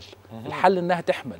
فما ما فيش سبب آه، خالص إن إحنا نفضل ندي في علاج عشان نوقف انتشار بطانه الرحم وفوجئ السيدة دي عندها 38 39 سنة ونيجي نشتغل بقى عشان نعمل آه، حقن مجهري ما نلاقيش مخزون مبيض كويس بسبب التأخير اللي هي بتاخده في العلاجات لحد ما توصل إن إحنا نعمل حقن مجهري وما نلاقيش بويضات للأسف عشان السن والعلاج الكتير اللي بتاخده عشان الألم. ولازم نفرق ما بين حاجتين مهمين جدا. اللي جاية تعاني من بطانه رحم مهاجرة دي. هل تعاني من الألم ولا تعاني من تأخر في الإنجاب؟ ال- العلاج مختلف تماما. هل في علاجات طبية؟ آه في علاجات طبية. بتوقف بتنهي المرض؟ لا إلى الآن ما فيش حاجة بتنهي مرض بطانه الرحم المهاجره هو progressive disease هو مرض بينتشر مرض ممكن يرجع. لكن ال message الرسالة اللي أنا اللي جاي النهارده عايز أوصلها للناس إن 90% من الحالات مش محتاجة عمليات. 90% من الحالات مش محتاجة عمليات. أنا مش عشان عايز أستعرض وإن أعرف أشتغل كويس أدخل على حالة كيس دم أقل من 4 سم من غير ما أعمل تحليل مخزون البويضات وأشوف المبيض ده الست دي مخزون البويضات عندها كويس ولا لأ وأدخل أشيل كيس الدم ده وأشيل معاه غصب عني حتى لو أنا expert بشيل جزء خبير. من البويضات ها وأفوجئ إن أنا الست دي ما عندهاش مخزون بويضات تشتغل بيه بعد كده. وال message الثانية إن هذه السيدة لها عملية واحدة فقط. مش يجي لي حالات عاملة منظار واحد واثنين وثلاثه عشان تشيل كيس دم لحد المبيض ما ينتهي هي ليها عملية واحدة. ست شهور ما حملتش تدخل على الحقن المجهري على طول. ما نقعدش إحنا نهلك في المبيض ونهلك في الست بعمليات متكررة ها؟ وفي الآخر ما نلاقيش مبيض أو بويضات نشتغل بيها أو ننشطها آه، في حالات الحقن المجهري الم- المقصود بعملية واحدة بالنسبة للحالات لما يكون عندها كيس دموي على المبيض؟ آه، مش شرط. يعني أنا 60% من الحالات اللي عندها minimal to mild endometriosis اللي هي الدرجة اللي هي نقول أولى أو قبل الأولى يعني ما بين grade 1 و grade 2 دي لما الست ما هو حضرتك ما عندهاش أي أعراض بندخل بالمنظار عشان ال- ال laparoscopic ده one of the diagnostic tool لتشخيص آه، آه، بطانة الرحم المهاجرة أو واحد زي اللي إحنا شايفينه الفيلم ده ده. ده, منظار بطن. ده منظار بطن داخلين أهو. وواحدة آه، مش بتحمل مش بتعاني غير بشوية ألم تحت period وتحليل جوزها كويس. دي التصاقات عاملاها بطانه رحم مهاجرة. دي شكل البطانة. ال ال ال ال ال لما يكون موجود آه، بطانه الرحم المهاجره آه، موجودة في الحوض الجهاز المناعي بينشط بيسلط عليها ال macrophage اللي هي بتقعد تاكل فيها عشان بتهاجم هذا بسميه الوحش اللي هو بي- بيهجم على الحوض بياكل في الأنسجة بيعمل peritoneal defect بيعمل زي فتق في البريتون بياكل في ال في ال في ال في ال uterosacral ligament ممكن آه، يعمل أجسام مضادة حوالين قناتي فالوب ممكن يهاجم الأنبوبة نفسه يعمل مية على الأنبوبة ممكن يقفل الأنبوبة ها، كل الكلام ده الجهاز المناعي بيهاجمه. فالحيوان المنوي لما يجي يقابل البويضه مش بيوصل. ما هو ال- ال- ال macrophage دي دي بتهاجم الحيوان المنوي فدي الاسباب التي تؤدي لتأخر حمل في حالات بطانه الرحم المهاجرة. بندخل بالمنظار بنكوي المناطق دي كلها بنفك الالتصاقات ها وبندي ست شهور لحدوث الحمل بعد المنظار. 60% بيحملوا. 60% من الحالات بيحملوا. ما نقعدش إحنا بقى بعد ست شهور نستنى سنة أو سنتين لأنها بترجع. 40% أو 40% من طرح المراجع بترجع لو ما حصلش حمل في خلال سنة من المنظار. فلازم آه، نشتغل بسرعة. بعد ست شهور ما حصلش حمل حلك حقن مجهري. أو نعمل تلقيح صناعي دورة أو دورتين بعد التنشيط العادي والجماع الطبيعي ما حصلش حمل ما حصلش حمل نلجأ للتلقيح الصناعي. أنا عن نفسي مش بعمل أكتر محاولتين. الكتب بتقول أربع محاولات. لكن أنا مش بعمل أكتر من محاولتين عشان ال cost effective وبتاع بيبقى أحسن لهم نعمل الحمل المجهري. لأن نسبة الحمل في الحمل المجهري 55% التلقيح الصناعي من 15 ل 20% فالنسبة العالية في ال- الحقن المجهري. فلها هي عملية واحدة فقط هي ال laparoscope هو المنظار. بندخل خلال ست شهور. ما حملتش تلقيح صناعي. محاولتين ما حملتش حقن مجهري. دايما يعني الناس بدأت تتلخبط من إنها تنظر لبطانه الرحم المهاجرة على أنها حالة معينة واحدة مرض واحد لكن في حقيقة الأمر بطانه الرحم المهاجرة أكتر من مرض لأنها أكتر من stage مظبوط كل stage كل مرحلة من مراحلها تعتبر مرض منفرد بحد ذاته مختلف. يعني أعتقد ال stage الأول يختلف تماما عن ال stage الرابع. طبعا طبعا. ال stage الرابع ده بقى ده بتوصل لالتصاقات ما بين المبيضين بيسميهم kissing ovary المبيضين لازقين في بعض التصاقات شديدة. ممكن يوصل ل frozen pelvis يعني آه، حوض متجمد. ها؟ ده ال stage الرابع. ده لا ينفع معاه منظار ولا ينفع حاجة. انت go on على آه، آه، حقن مجهري على طول لأن ده بي- بيقعد ياكل في المبيضين. آه ال stage الثالث برضو إنها بيوصل بيبقى فيه chocolate cyst كياس دم على المبيض قبل ما تعمل التصاقات بقى. يعني ال mild ال moderate اللي اتكلمنا عليه ال stage الثالث إن هو بطانه الرحم المهاجرة تؤدي إلى كياس شوكليت أو كياس دموية على المبيض. طيب إمتى ندخل نشيل الكيس ده؟ رقم واحد لازم نعمل مخزون بويضات. أي كيس دم أقل من 5 سم ما نلمسوش لأن إحنا ممكن ندمر هذا المبيض وإحنا بنشيل الكيس. إمتى ن- 90% من الحالات ما تحتاجش إن إحنا تشيل أكياس دم على المبيض؟ ودي message أنا جاي أقولها برضو هنا. 90% من الحالات. 10% من الحالات فقط هي اللي تحتاج إلى laparoscopic surgery أو عمليات جراحية بالمنظار. إيه هي؟ الم آه، كيس فوق ال 5 سم كيس كابس على ال- ال- ال- المثانه آه، مخليها مش عارفة آه، ال- التبول عندها بصعوبة شديدة وجع مش بيروح والكيس أكبر من 5 سنتي. ده الحالة الوحيدة اللي ممكن آه، آه، نلجأ للمنظار عشان نشيل الكيس الدم. آه، آه، لو عمل لها وجع آه، جامد. لكن لو هي مخزونها قليل والكيس الدم ده فوق الخمسة سنتي يستحسن إن إحنا ننشط هذه السيدة. مرة ونجمد أجنة وننشطها تاني ونجمد ونسيب الأجنة وندخل نشيل الكياس خلاص؟ وبعد كده نحضرها الأجنة المجمدة دي إن إحنا مش ضامنين هذه السيدة بعد العملية يكون عندها بويضات ولا هتكون آه، يبقى عملنا اتأثرت. حسابنا. عملنا حسابنا و- اتكلمنا المرة اللي فاتت عن ثروه التجميد آه. آه, هي التجميد شغال في بطانة رحم مهاجر برضو اتاح لنا ان إحنا آه نعالج آه، الستة التي تعاني أو السيدة التي تعاني من أكياس دموية شديدة على المبيض إن إحنا ننشطها الأول قبل ما نشيل الكيس ونجمد الأجنة ها وبعدين نشيل الكيس ونشيل بطانة الرحم المهاجره لأن نسبة الحمل بالحقن المجهري آه، السيدة التي تعاني من بطانة رحم مهاجرة أقل شوية من اللي ما عندهاش الأدوية آه، في حوارك قلت قد يكون علاج دوائي. طبعا. ميكانيزم الدواء إيه؟ هو الدواء بيوقف النشاط بيقلل الكياس بيضيع الألم لكن مش بينهي المرض. دي الرسالة برضو المهمة اللي لازم نقولها. المرض مش بينتهي. إحنا بنقلل ال ال ال بنقلل الوجع بيقلل الألم خالص عن طريق إن هو بيشتغل بطريقة معينة بيخش لل endometriotic nodules أو ال spots اللي هي هتعمل كيس دم هيوقف نشاطها خالص والدواء ده آه، مش لازم أقول اسمه يعني آه، ده آه، اتاح لنا اللي هو يعني بقاله سنتين موجود أو ثلاث سنين في ال market. إن هو فعلا رائع ولازم تستمر عليه مدة طويلة عشان ين... لكن هو بيوقف نشاط المبيض. ما ينفعش واحدة عايزة تحمل تاخده إن هو بيوقف نشاط المبيضين تماما آه عشان بيدخل الست في حالة حمل. بالظبط كده بالظبط حالة. حمل يعني- يعني يعني كأنه بي بالظبط. يعمل حالة كيميائية تشبه حالة كيميائية الحمل. تشبه الحمل. مفيش period بتنزل خالص. إن إحنا اتفقنا إن بطانه الرحم المهاجرة انتشارها بيعتمد على نزول الدورة. بس كل ده معناه إن ميكانيزم الدواء مرتبط بإنه اللي جاية ست اللي جاية تتعالج جاية تتعالج عشان خاطر الألم. ألم فقط. آه. آه وليس لكن رغبة الإنجاب ده شيء مختلف شيء مختلف تماما. طبعا. آه يبقى الدواء ملوش بالظبط كده. وأحب أطمن برضو إيه، يعني ال- السيدات بتوعنا إن وبناتنا إن هو نادرا لما بيجي أقل من 20 سنة برضو. هو ال- البنات رحم مهاجرة أكتر الأعراض بنشوفها من 25 ل 35 سنة. آه، مش أي بنت عندها تعب في ال period أو الدورة الشهرية بيبقى عندها بطانه رحم مهاجره الألم مختلف تماما بين الاثنين الألم الدورة الشهرية ممكن يجي آه، أول يوم وتاني يوم ويبتدي يخف. بتاعت راحة بطانه الرحم المهاجرة بيجي ألم شديد. أول يوم بيزيد في اليوم الثاني والثالث وكاد يكون قاسي جدا عليها. ما تع- ما تعرفش تنزل كليتها ما تعرفش تروح مدرستها ما تعرفش. لكن ألم ال period العادي لا ده بي بيجي أول يوم وتاني يوم وبيقل مع الأيام. ده الفرق بين الاثنين فمش أي واحدة عندها ألم ها يبقى عندنا هلع إن عندها بطانة رحم مهاجره لأن أنا شفت حالات فعلا عندها اكياس دم وعندها 20 21 سنة. آه وده آه علاجنا ليها مش بنمسها برضو عشان المبيض برضو ما يتأثرش إحنا بنديها الأدوية زي حبوب منع حمل بتوقف النشاط شوية بتوقف النشاط لحد ما توصل لسن الزواج. في بطانة رحم المهاجره في آراء مش دقيقة مش علمية دقيقة. okay.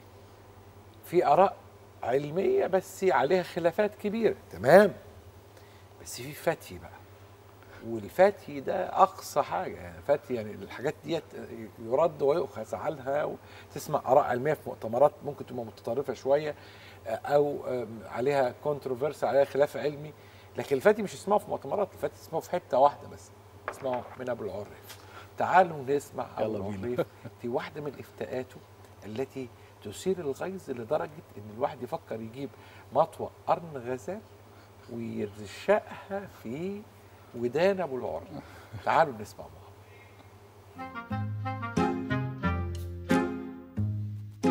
يا باشا مع احترامي لحضرتك واحترامي لسيادتك كل شوية نسمع إن سبب تأخر الحمل ولا سبب فشل الحمل ولا سبب فشل الحقن المجهري ضعف بطانة الرحم.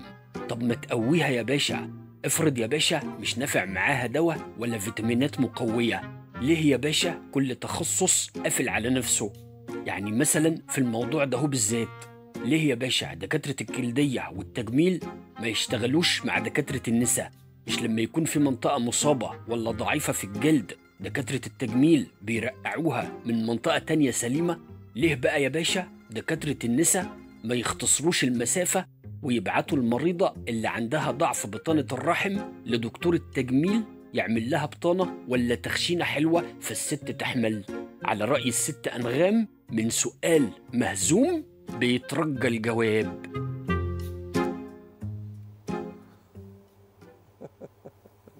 دكاترة النساء آه، غلابة قوي أنت بتسمع النوعية دي من الفتيات. كتير.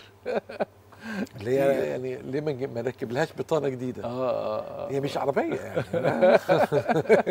ده عايز يتضرب بالنار مش فاكر قلت لك نحط السيخ البحر في صرصور فتي له حدود يا جماعة. ساعات الفتي يتجاوز الحدود ويصل إلى مرحلة الهبل. دي مرحلة الهبل.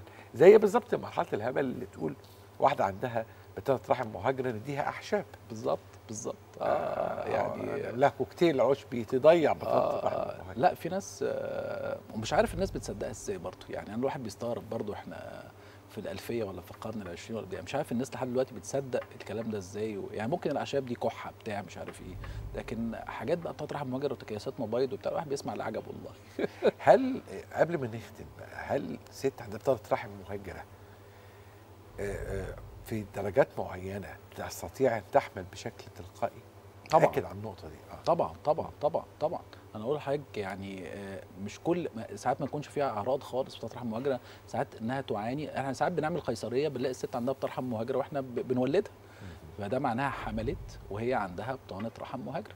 فدايما بنقول إن 60% من حالات بطانة الرحم المهاجرة بتحمل طبيعي. 60% دي مسج مهمة قوي. مش كل واحدة عندها بطانه رحم مهاجره عندها تأخر في الإنجاب أو تتأخر في الإنجاب. لا 60% بيحملوا طبيعي خصوصا اللي بيتجوزوا صغيرين مش بيتأخروا في الجواز. اللي بيتأخروا في الجواز شوية بعد سن 30 34 35 دول آه، آه، ب- بطانه رحم مهاجره بتتشخص متأخر شوية. فبيتأخروا شوية. اللي بتتجوز اللي عندها بدايات بطانه رحم مهاجرة واتجوزت على 22 23 25 دي بتحمل طبيعي خالص. وبنفوجئ بقول لك وإحنا بنعمل قيصرية أنا عندها endometriosis وإحنا بنولد ال baby. بتبقى يعني آه، حاجة لطيفة جدا آه. إن إحنا بنخبرها إن عندها بطانه رحم لا و message مهمه بقولها لهم ما تقعدوش فترة طويلة بقى من غير خلفة جيبوا العيل التاني وخلاص لأنها ممكن بتزيد مع الوقت بقى. آه، فدي بالنسبة message. لو بنت بدأت. آه آه وأنا بعمل القيصريه لقيت في بدايات endometriosis بقول لها ما فيش spacing بقى بين ال baby وال baby كبيرة ما تقعديش خمس ست سنين سنتين سنتين ونص ويجيبي ال baby التاني والحمد لله إنها ممكن تزيد وممكن تتأخر. طبعا. نورتني وكالعادة أبدعت. merci merci و message أكتر من آه، آه، آه، من رسالة مهمة النهارده. أعتقد وصلت كل الرسائل لكن أحب أن أؤكد أن بطانه الرحم المهاجره مرض له أكثر من وجه. أنت عندما تتعامل مع هذه الوجوه ينبغي أن تدرك أن بعض الوجوه التعامل معها يكون بابتسامه وبهدوء شديد جدا وبلا تخوف. بعض الوجوه الأخرى تستحق أو تستدعي تدخلات جراحية.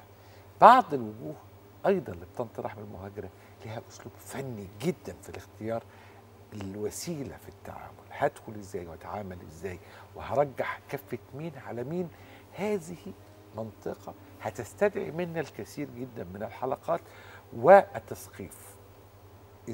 كفة المناظير أمام كفة الحقل المجهري أمام كفة الأدوية. هذه الكفات كلها أو هذه المناطق كلها ينبغي قياسها بدقة شديدة من من يستطيع أن يقيسها بدقه شديده أكيد ضيفي واحد منهم ضيفي العزيز القيمه العلميه المتميزه الأستاذ الدكتور محمد فتحي خلف استشاري الحقل المجاري وأطفال الأنابيب وأمراض آه، النساء وتأخر الإنجاب استشاري جراحات مناظير أمراض النساء وعضو الجمعيه المصرية والأمريكية للخصوبه وتأخر الإنجاب. كانت في واحدة من أرقى حلقاتنا في النفس. خليكم دايما مع الناس. في فرق كبير بين ضعف الرغبة الجنسية وبين عدم القدرة الجنسية أو ضعف القدرة الجنسية. الاستمرارية في الضعف الجنسي أو ال- التقدم في المشكلة. المشكلة موجودة باستمرار أم هي متزايدة أم متقطعة بتيجي وتروح. أهلا بكم. النهارده إحنا بصدد شرح موضوع مهم جدا وطبعا في البداية لازم نفهم إنه لا حياء في العلم لا حياء في الدين. آه في فرق كبير بين ضعف الرغبة الجنسية وبين عدم القدرة الجنسية أو ضعف القدرة الجنسية.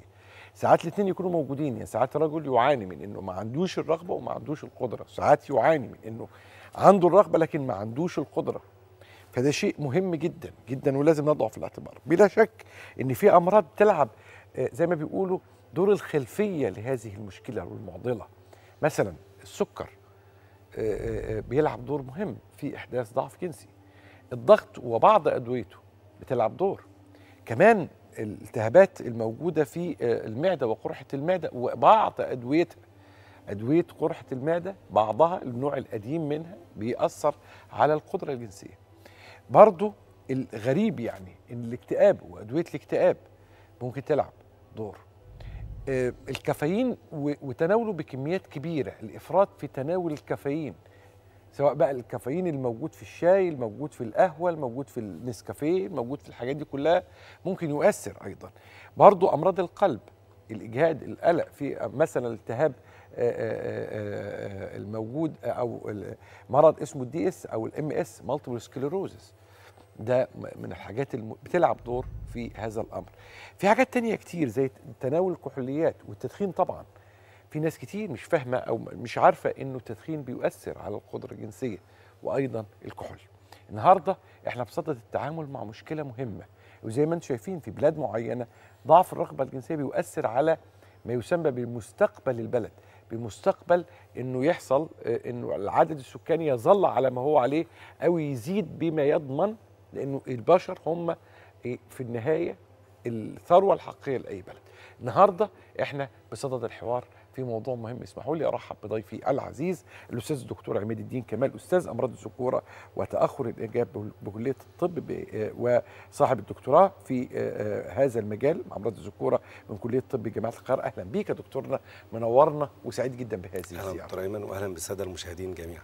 الحقيقة أنا عايز أبدأ الأول بأسباب الضعف الجنسي عن قرب. أنا قلتهم بسرعة بس اسمعهم من حضرتك. طب موضوع الضعف الجنسي زي ما ذكرت هو موضوع مهم جدا وبيحدد المستقبل اجيال ومستقبل أمم. طبعا لأن الموضوع ده يمكن ربنا حطه في البشر كنوع من أنواع الحفاظ على الهوية البشرية.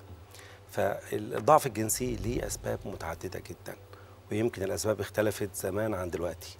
الاختلاف ما كانش في الأسباب على قد ما كان في وسائل التشخيص. بمعنى إن إحنا كان في الفترة أو السنوات الثمانينات وقبل كده كنا دايما بنعتقد إن الضعف الجنسي 90% منه أسباب نفسية. آه، بعد الطفرة بتاعت أمراض الذكورة ودخول فحوصات جديدة واشعاعات وتشخيصات قدرنا آه، نتعمق في التخصص ده فبدأت تتغير النسب دي. 90% النفسيه نزلوا قالوا يا دوب 50% أسباب نفسية. وزادت النسبة العضوية من 10% ل 50% فاذا إحنا بنحط الموضوع في شقين رئيسيين. شق نفسي وشق عضوي.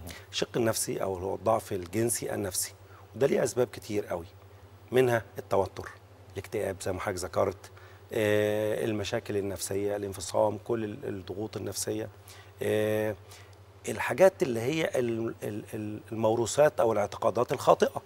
ولد اتربى على طريقة معينة إن ال- الجنس عيب أو في مشكلة وكان دايما بيتعاقب يا إما يعمل حاجة أو يعني يشير إلى حاجة من الحاجات دي.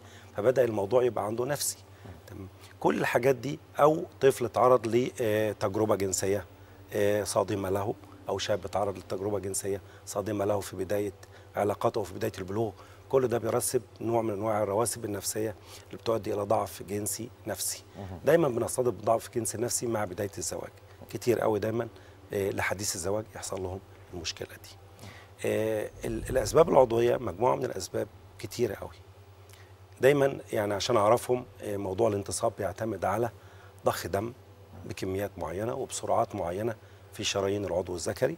دي بتعملي نوع من أنواع ضغط للنسيج الكهفي. الضغط ده بيرفع ال- ال- ال tension أو الضغط الداخلي فبيعمل نوع من أنواع الصلابة أو الانتصاب. لو الدم ده ما دخلش كويس أو حصل نوع من أنواع تسريب الدم لأن هو المفروض الدم يخش ويحصل له trapping يعني يتحبس جوه أو يفضل لفترة. لو في تسريب أو الدم مش داخل كويس هيحصل لي إن الانتصاب ده هيبقى أكيد ضعيف. فكل مشاكل الشرايين تصلب الشرايين ارتفاع ضغط الدم السكر آه، كل الحاجات دي بتأثر على الشرايين فبتقلي إن الدم اللي داخل هيبقى قليل وبالتالي الانتصاب ضعيف. مشاكل تانية بتؤدي إلى تسرب في الأوردة. مشاكل السكر والتليف في النسيج الكهفي بيعمل لي تسرب في الأوردة وبالتالي يعمل لي ضعف جنسي. مشاكل الأعصاب الطرفية. التهاب الأعصاب الطرفية اللي أكتر سبب ليه السكر والناس اللي هم عندهم آه، أمراض آه، في نقص بعض الفيتامينات وبعض الحاجات المعينة دايما بيحصل لهم الموضوع ده.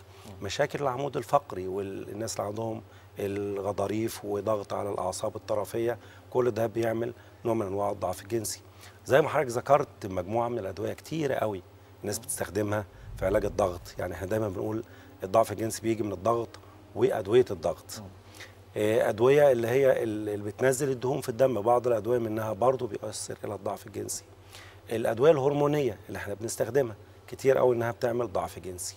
وفي الآخر بنلم الحاجات دي كلها للناس ونقول لهم خدوا بالكم من خماسي ضعف القدرة الجنسية.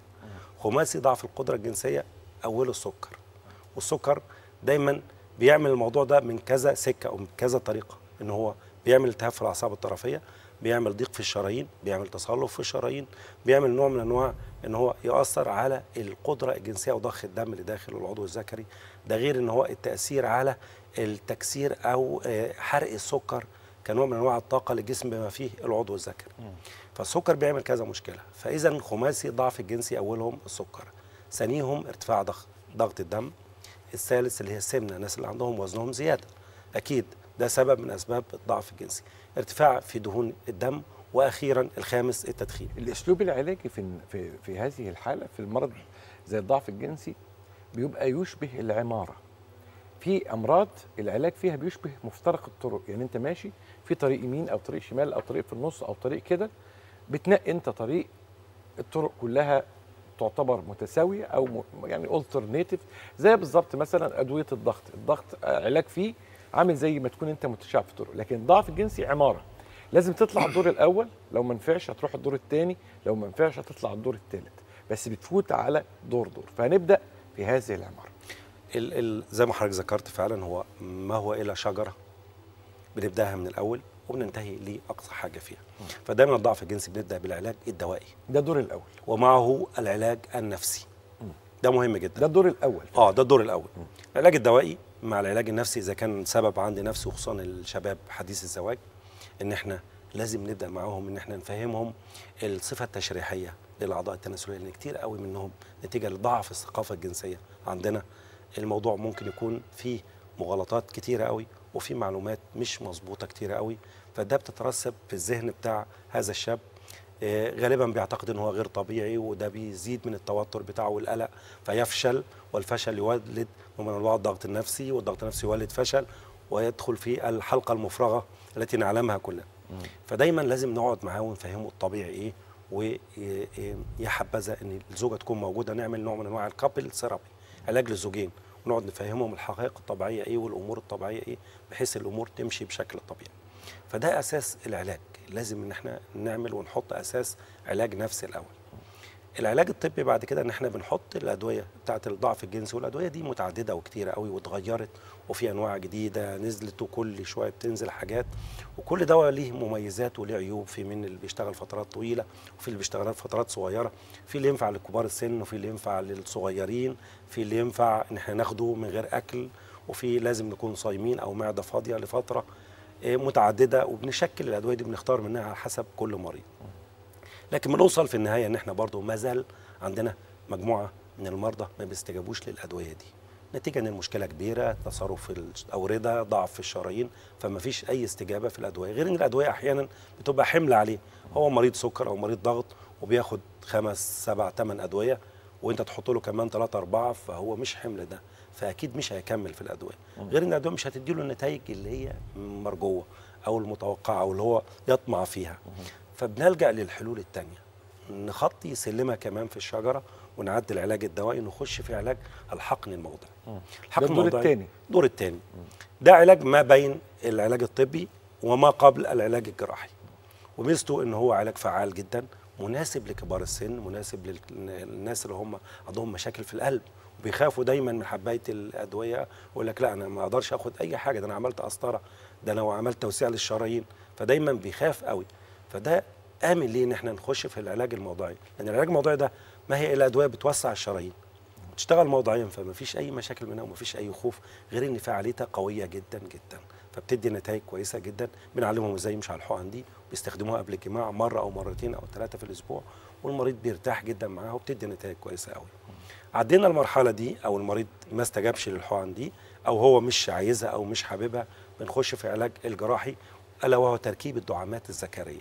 الدعامات الذكرية في أنواع منها كتير قوي نختار منها الأنواع الهيدروليكية أم الديناميكية على حسب كل مريض ودي حلول جذرية وفعالة وتنهي المشكلة دي بحل جذري والمريض بيستمتع بقدرة جنسية مدى الحياة ما بتقلش أو تضعف أو تتغير على مدى الحياة بشرط إن أنا أعمل الدعامة دي بطريقة سليمة وأرتب العيان بتاعي وأجهزه بطريقة آمنة بتمشي الأمور سليمة والعيان بيحل مشكلته مدى الحياة. الأنواع بتاعت الدعامات دايما آه، برضو مسار جدل علمي ومسار جدل مرضي مريضي. المريض دايما بيسأل عن أنواع الدعامات. في نوعين رئيسيين للدعامات النوع الهيدروليكي أو النوع الديناميكي. الديناميكي أو أو المرن ده نوع آه، مرن مصمت بيتركب في العضو الذكري وبيعتمد في الشغل بتاعه على القدرة بتاعته على الصلابة وتدعيم النسيج الكهفي للذكر. وده بيبقى ثابت ما بيتغيرش لكن محطوطة فيه حاجة اسمها ال concealment. ال concealment إن هو القدرة على الإخفاء. أقدر أتنيه وأفرده بحيث أقدر أتحرك وأمارس حياتي بشكل طبيعي وعند العلاقة الجنسية أقدر يعني أفرده وأقدر أمارس بيه بشكل طبيعي. النوع الثاني اللي هو ال hydraulic. ال hydraulic ده بيعتمد على وجود سائل بيضخ من آه، مخزن معين تحت تأثير pump معينه أو مضخة معينة فبيدي نوع من أنواع الانتصاب. آه، ده ظريف جدا وال concealment بتاعه عالي لأنه بيختفي تماما.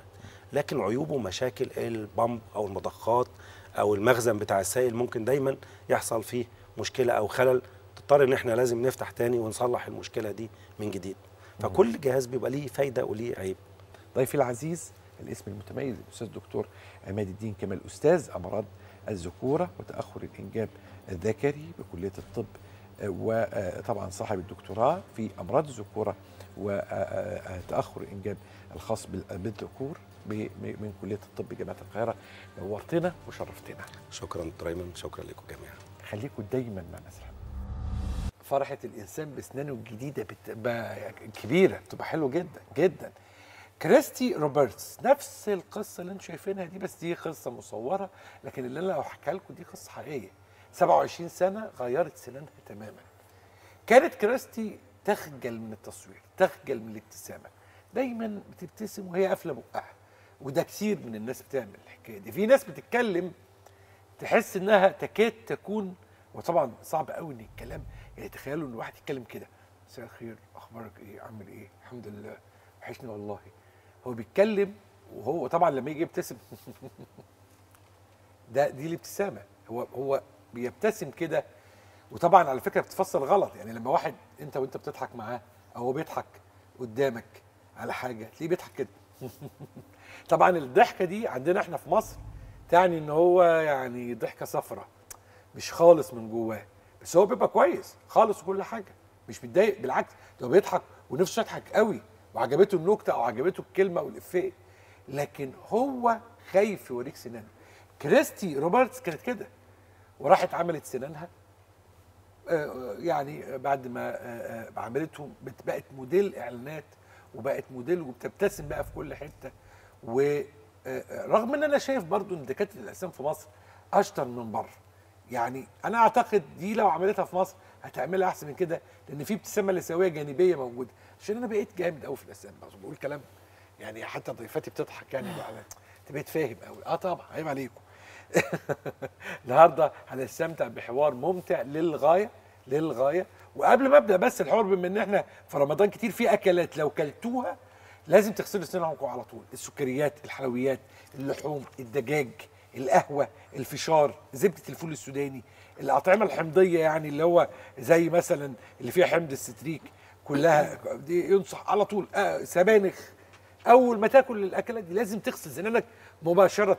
في رمضان غسيل الأسنان بيقل شوية أرجوكم لازم نغسل سناننا كتير.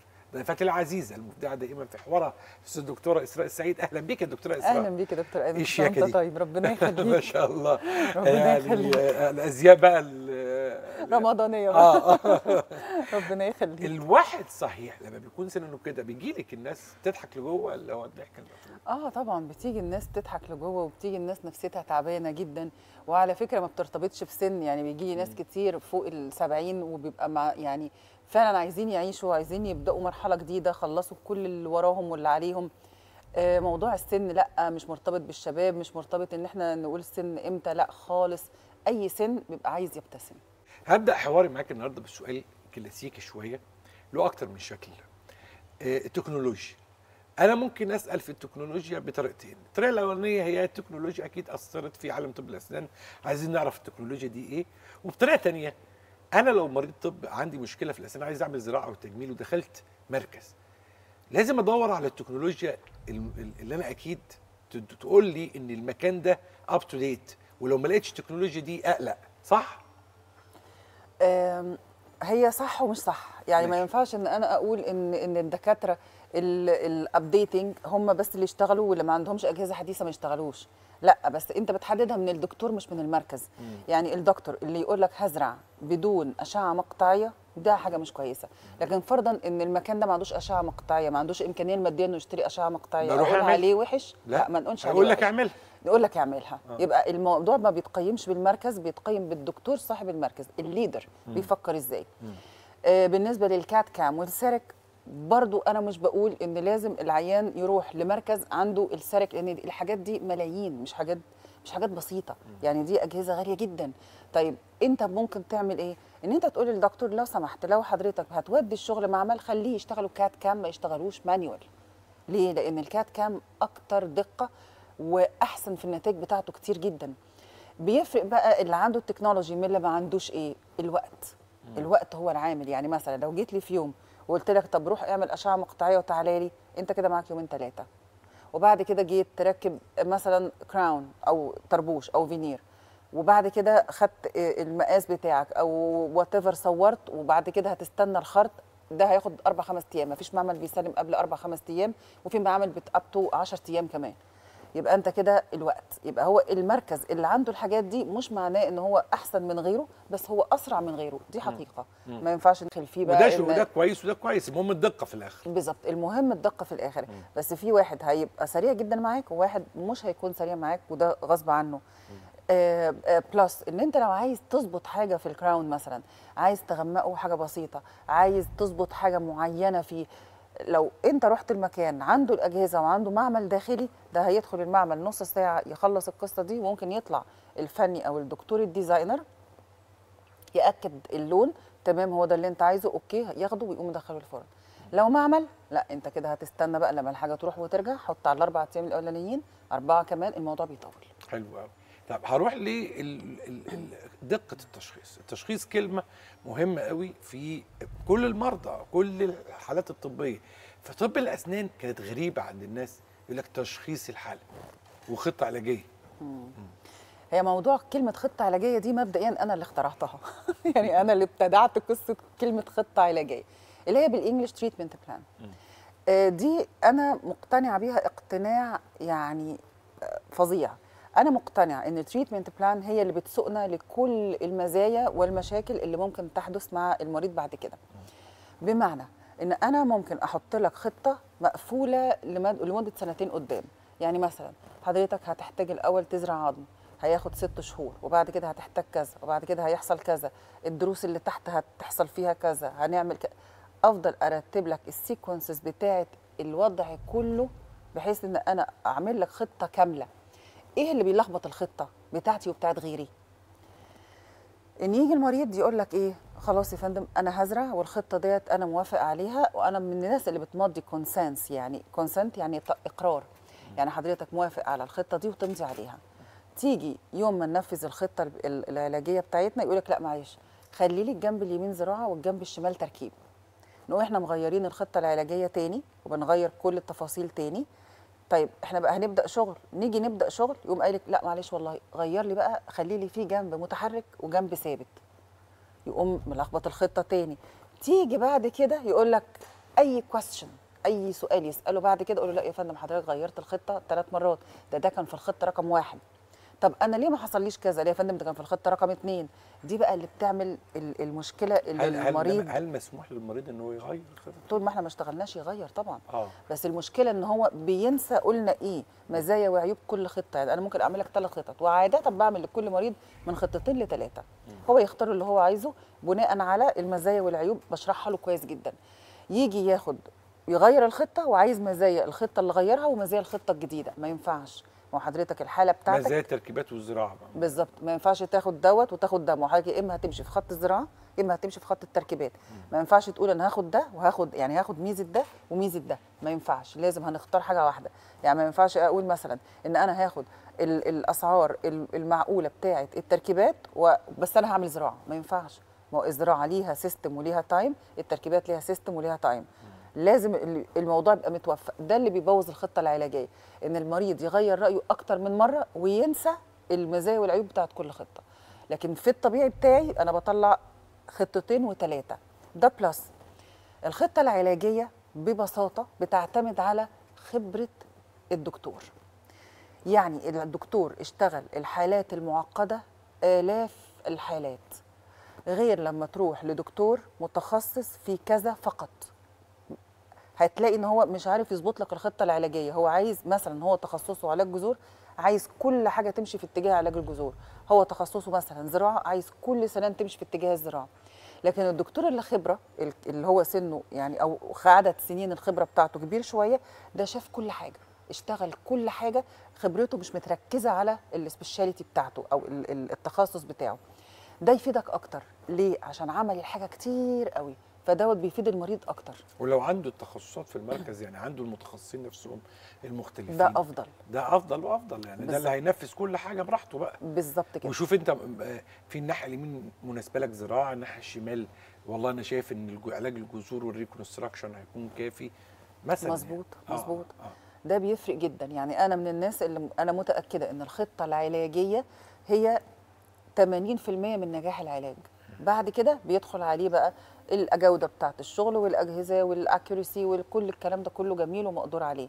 لكن المريض يبقى فاهم الخطة العلاجية بتاعته وموافق عليها وعارف المزايا والعيوب وال time اللي إحنا هنشتغله ده بيوفر كتير بعد كده عليا وعليه. إيه ال- الوضع العلمي ال- في طب الأسنان اللي خلينا نقول هذا المريض عنده مشكلة تحتاج إلى زراعة؟ بمعنى يعني ممكن تبقى المشكلة عليها خلاف إنها تتعمل لها زراعة أو يتعمل لها شيء بديل للزراعة؟ آه طبعا. آه.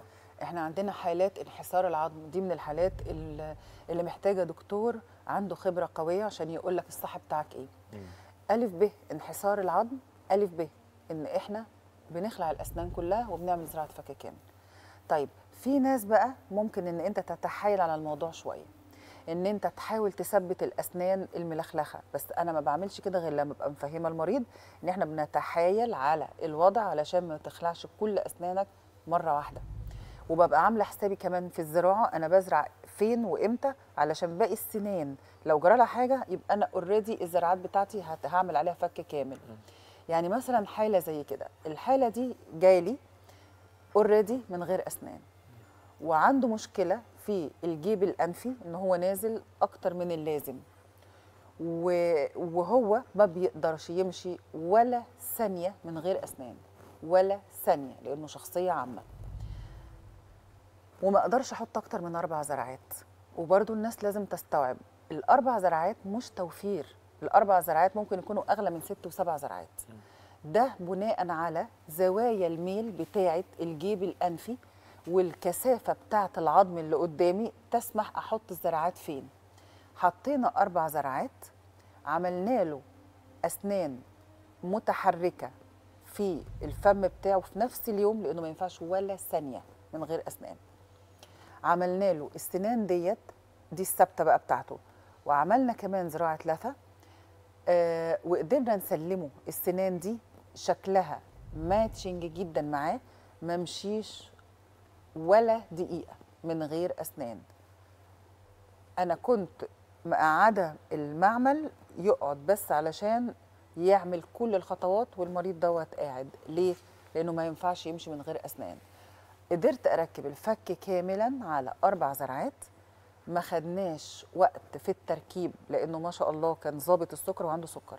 ظابط السكر ظابط كل ال- ال- ال- العلاج بتاعه. آه، كانت برضو مراته من الناس المهتمين جدا. العيب الوحيد إن هو كان كل ما بيجي بيقعد معي وقت طويل لأن ما بمشيهوش متضايق ابدا. لازم كل حاجة تتعمل له. حتى لو أنا باخد خطوات على التركيب باخد مقاسات أو بصور كات كام بيبقى المعمل قاعد. مجرد إن أنا أخلص يريح له التركيبة على فمه بحيث إن هو ما يحسش بأي مضايقة ولا مشكلة.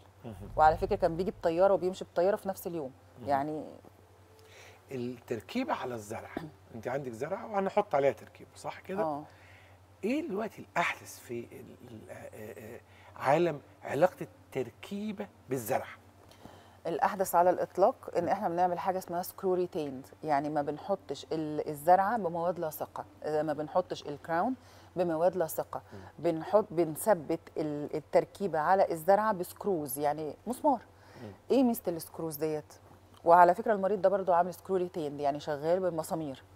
إيه ميزتها؟ إن هو سي جه بعد سنة أو اتنين جه قال لي والله أنا عايز أفتح أو أغمق الأسنان بتاعتي. أنا أي حاجة حصلت كلت عليها زلطة آه، عملت أشفى في سنة من السنان الميزة الوحيدة وال أو ال أو أكبر ميزة prominent قوي إن أنا بمنتهى البساطة حاجة كده زي المفك بنفك المسامير ننزل التركيبة ناخد التركيبة ديت على المعمل أظبط الوضع اللي هو عايزه رجع التركيبة ربط في المكان خلص الموضوع. ده موضوع ظريف جدا. ما خدش غير بقى ما خدش وقت وما خدش افرت وما خدش تكاليف. غير لما تبقى عاملها بسمنت سمنت يعني مواد لاصقة. إيه المشكلة اللي بتقابلنا؟ المشكلة إن الم- المواد اللاصقة دي بتبقى ماسكة قوي في الجزء اللي على الزرعة اللي هو ال abutment بيبقى علشان تشيله لازم تقسمه بالمكنة وبتكسره وبترميه. يبقى أنت علشان تعدل أي حاجة في ال crown ده هتعمل إيه؟ هتتكلف crown من الأول وجديد. يا إما بقى على حساب المريض يا إما على حساب الدكتور. فطبعا في الحالتين هي خسارة. بس برضو مش معنى كلامي إن كل العيانين هيجوا يعملوا screw retained appliances لأ في ناس كثافة العظم ضعيفة عملنا حاجات كتير آه، اللثه نفسها مش هتسمح لنا بال screw retained لأن في مسافات بتتقاس في العظم واللثه نفسها بيبقى ليها سماكة معينة بنقعد نقيس بقى ال keratinized. ليه بقى ليه بقى قصة؟ إن إحنا بنقيس حاجات معينة في اللثة ممكن أجي أقول لك مش هينفع إن أنا أعمل لك screw retained أنت هتبقى حالة cemented طيب مين اللي هي guide الكلام ده؟ الدكتور. يعني أنا مثلا حاليا بعمل أكتر من 95 من حالاتي screw retained أكتر من 95 طيب في 5% لا دول هيفلتوا مني. ليه؟ لأن مش هينفع. العظم دوت أو كثافة العظم ده أو ال operations اللي أنا عاملاها دي تتحمل ال screw retained دايما الناس بتسأل على هل الكلام بتاع الزراعة مناسب للناس كبار بس؟ يعني ولا صغيرين قوي؟ الاثنين ينفع. قوي يعني إيه؟ يعني بعد 18 سنة. آه لا يعني أنا في حد جاي لي مثلا حد- 8 سنين 9 سنين والده كان عايزني ازرع له مفيش حاجة اسمها كده. آه. ما ينفعش. لأن إحنا لسه في سن 18. البلوغ آه طبعا. لا أنا بتكلم على إنه برضو ال upper limit هو السؤال الأهم اللي هو السن ال- يعني آه، ممكن واحد سنه يبقى كبير جدا يفكر انه ما يزرعلوش. بص حضرتك السن مش هو ال guide الحالة الجسمانية هي ال guide حالة العظم. حالة العظم والحالة الجسمانية الم- ال medical history يعني هي يعني مثلا أنا على قد ما أتذكر امبارح ما أنا لسه زارعة ل- لحد 83 سنة. ما فين المشكلة؟ ولا أي مشكلة خالص. بس ما شاء الله كان fit ما عندوش أي مشاكل خالص. إيه المشكلة؟ ما ممكن يجي لي واحد عنده 25 سنة وعنده مشاكل كتيرة جدا. فهي القصة مش في ال number. يعني age is a number ما ينفعش إن هو دوت يكون ال guide بتاعي. بس ال medical history بتاعتنا وحالة العظم هي دي ال guide بتاعي. أنا من الناس اللي بتقول مفيش حاجة اسمها مستحيل. بس في حاجة اسمها حالتك صعبة هتاخد وقت أطول أو هتاخد خطوات أكتر. ده أنا مقتنعة بيه جدا. لكن absolutely ما ينفعش. نادرة قوي. طيب. بس ممكن أجل شوية. البكتيريا الموجودة في السنان بت- بتلعب دور كبير جدا في زيادة الصداع النصفي ال migraine.